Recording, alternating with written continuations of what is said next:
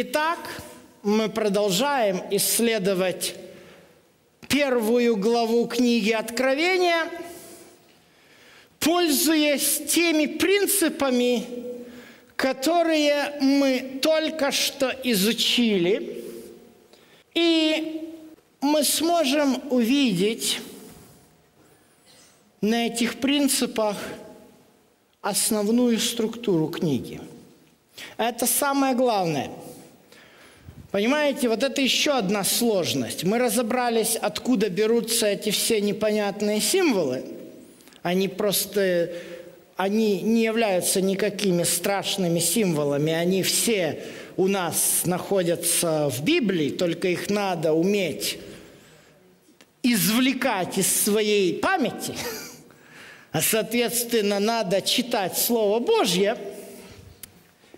Вот. Но есть и вторая трудность, которую тоже надо преодолеть, и мы постараемся ее вместе с вами преодолеть. Дело в том, что Библия красиво написана у нас тут, и параллельные места есть. И даже перед началом главы идет мелким шрифтом такое оглавление. Вот, и все стишки пронумерованы. Знаете, это с одной стороны хорошо, с другой стороны это плохо – а, дело в том, что мы становимся очень отцифрованными в нашем восприятии Библии. Иоанна 3,16. Мы можем отчеканить от зубов отскочит. Римлянам 10.14.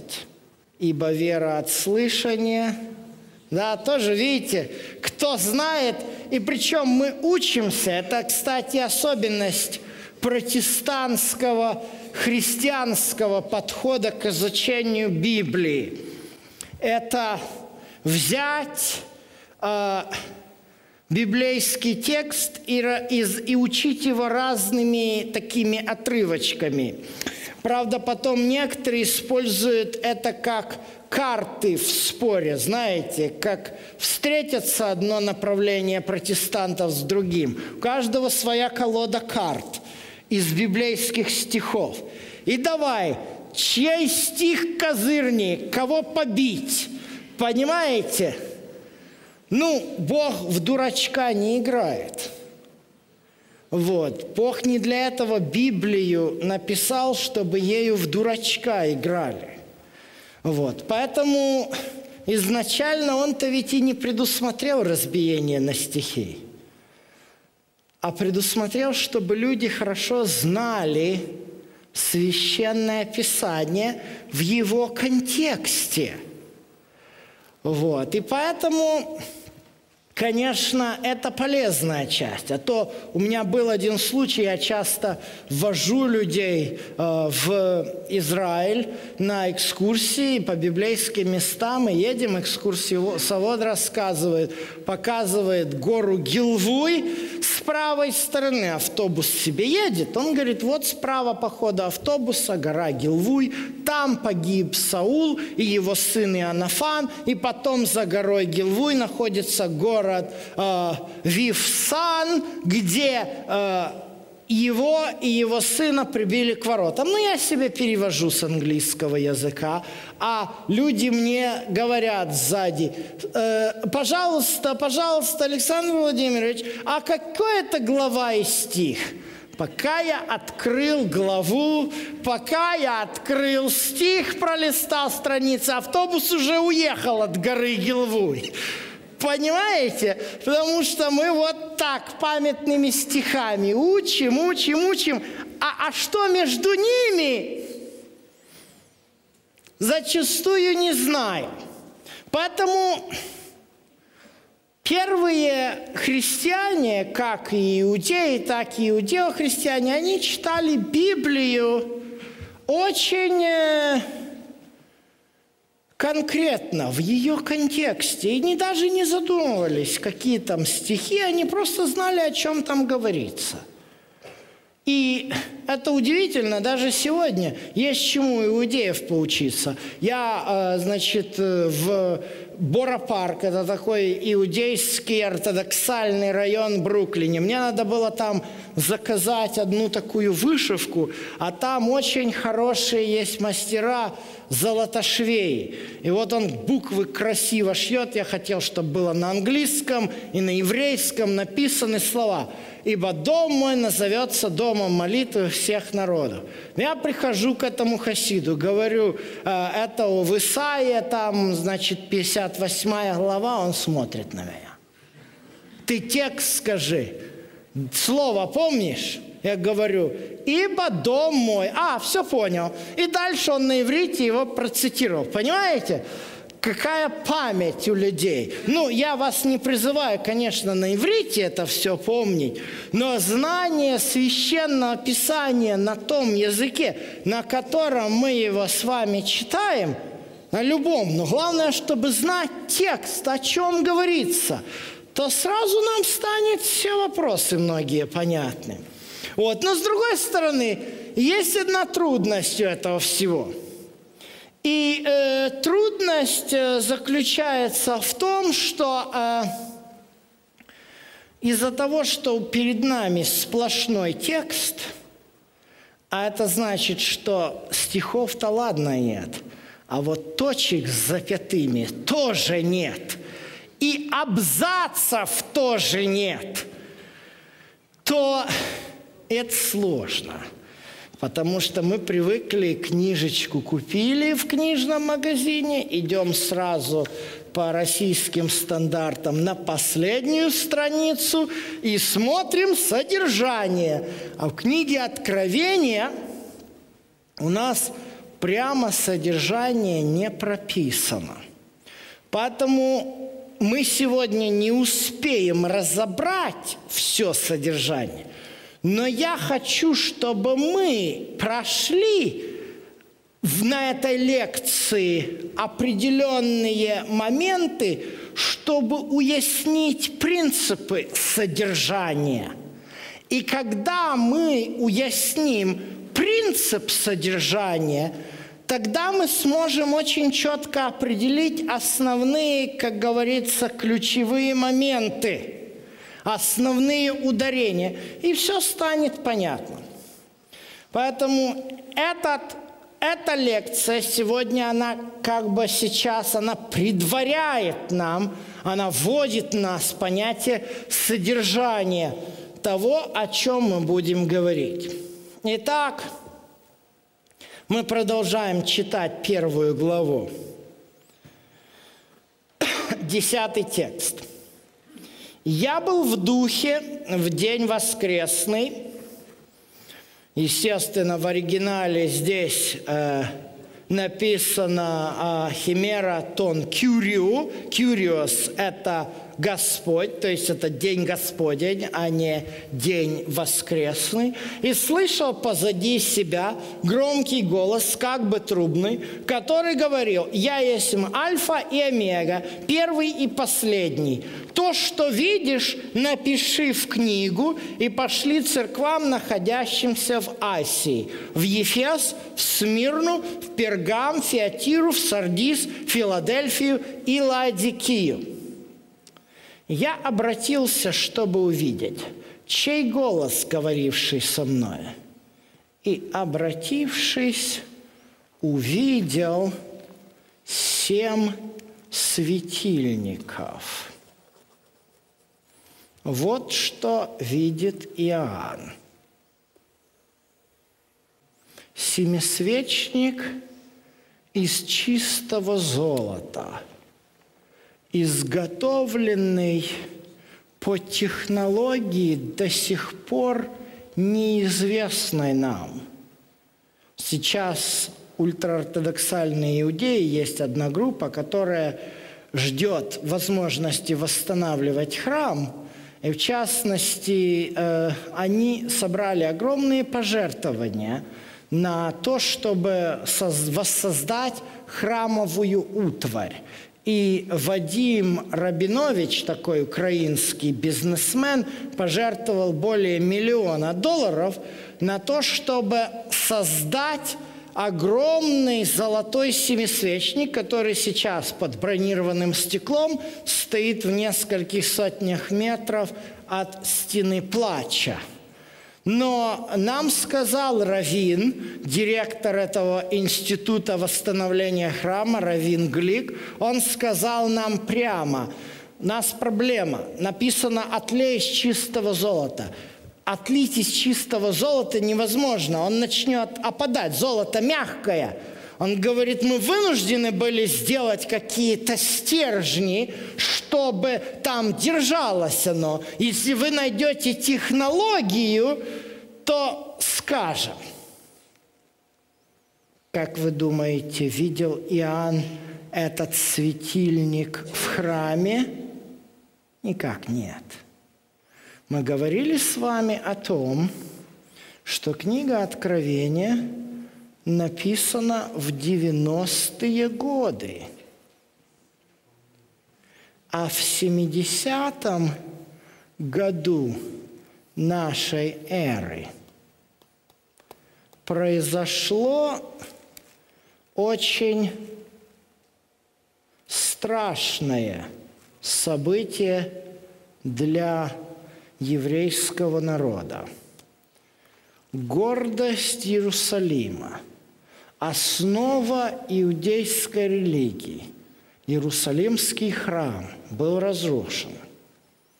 Для евреев это величайшая трагедия. Каждый год 9, час, 9 дня 5 месяца по иудейскому календарю, 9 ава, имеется пост, совершается пост – потому что это день памяти э, разрушения храма. Для иудеев все, и иудеи, и диаспоры, это было ударом. Вот этот семисвешник был торжественно пронесен победоносной колонной римских воинов – по Риму и исчез навсегда, вот уже 20 лет. Иоанн обращает свой взор, и вот, пожалуйста, он видит семисвешник. Вопрос, где он видит семисвешник? Там же, где он видит и другую храмовую утварь. Так, например, восьмая глава книги Откровения, третий стих, говорит о том, что он видит золотой жертвенник благовонных курений и кадильницу – об этом также записано и в 9 главе 13 стихе. А 11 глава 19 текст говорит нам о том, что Иоанн видит и ковчег завета. Ковчег, о котором сегодня ходят всякие сплетни и досужие слухи. Одни говорят, он в Ираке, Другие говорят, он в Эфиопии, а третьи вообще говорят, что его закопали под э, стенами Иерусалима в тоннеле Езекии. Всякие досужие разговоры. Но Иоанн видит ковчег завета не где-нибудь в Эфиопии или в Африке, центральной, экваториальной, а 19 глава пишет, «Отверся храм Божий на небе». Знаете, много всякой литературы мне приходилось читать, особенно когда обсуждается вопрос послания к евреям, то очень многие э, богословы пытаются доказать, что небесное святилище – это притча. Ну, мы не разбираем сейчас послание к евреям, но короткий путь черным по белому говорит о том, что Иоанн, в частности, видел храм Божий на небе. И мало того, что просто храм видел на небе, но и видел всю утварь, которую там. А что это означает?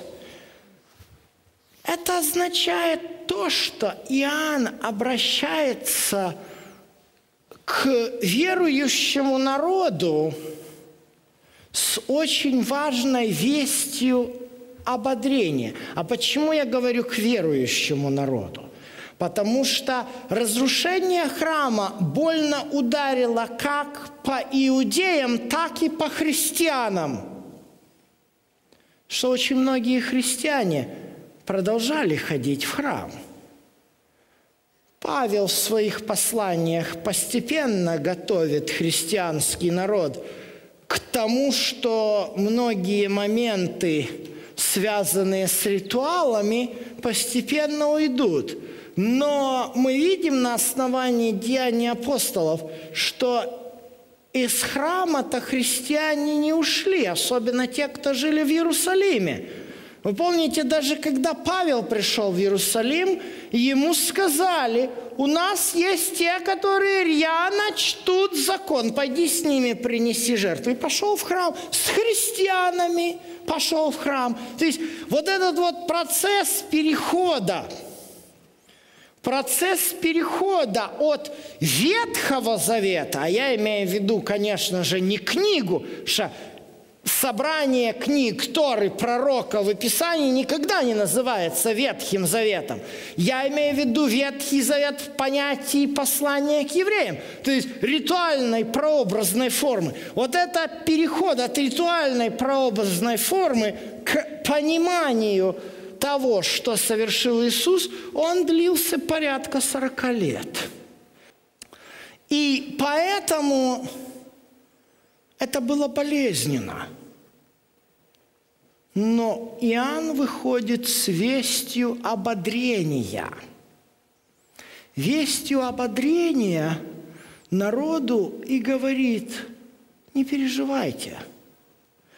Земной храм-то разрушен, но это все ведь модель. А настоящий-то храм где? На небе. Вот я вижу все, что здесь есть. И вот эта мысль о храме на небе, вот этот мотив небесного храма красной нитью проходит через всю книгу Откровения. И хотя мы не имеем конкретного оглавления, но вот эти моменты, и мы еще завтра на них будем смотреть, эти моменты, они являются как бы знаковыми вехами где, в которых мы четко можем увидеть, четко конкретно можем увидеть структуру и содержание книги. Именно с позиции и с перспектив небесного святилища. Но есть и другая сторона вопроса. Давайте читать дальше. Тринадцатый текст – а посреди семи светильников, подобного Сыну Человеческому, облеченному в подир и по персям опоясанному золотым поясом. Голова его и волосы белы, как белая волна, как снег, очи его, как пламень огненный, ноги его подобны халкаливану, как раскаленные в печи, и голос его, как шум вод многих. Перед нами интереснейший образ. С одной стороны, у нас образ Сына Человеческого. А Сыном Человеческим, как всем нам известно, в Евангелиях называет себя Иисус. Но с другой стороны, у этого Сына Человеческого голова и волосы белы, как белая волна. А это ключевое слово, которое встречается только в книге пророка Даниила. Седьмая глава, девятый текст. «Видел я, что поставлены были престолы, и воссел ветхий днями. Одеяние на нем было бело, как снег. Волосы главы его, как чистая волна. Видите эти слова? Престол его, как пламя огня. Колеса его, пылающий огонь. Огненная река выходила и проходила пред ним. Тысячи тысяч служили ему. Тьмы тем предстояли перед ним. Судьи сели и раскрылись книги. Видите, как важно все эти небольшие образы, намеки, которые, ключевые слова, которые Иоанн черпает из разных отрывков Торы пророка в описании важно читать в контексте. Оказывается, вот эта белая глава, оно связано с Божьим судом. Вы видите, второе упоминание о суде Божьем, второе упоминание вот этой вот судебной логики встречается то у нас в первой главе книги Откровения. Сначала Иисус как свидетель верный – и мы видим, что это взято из старозакония, судебного законодательства, которое применялось в Израиле. И здесь Иисус, который одновременно является еще и судьей.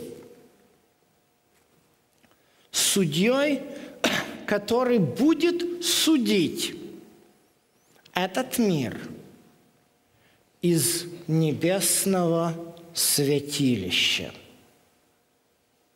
Вот эти два аспекта